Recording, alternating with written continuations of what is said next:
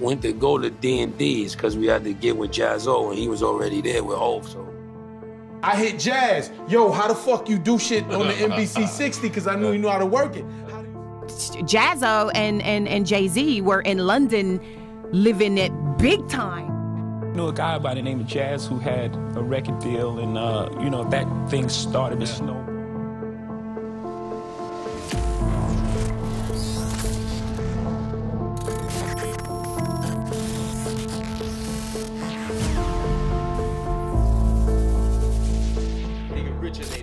greater.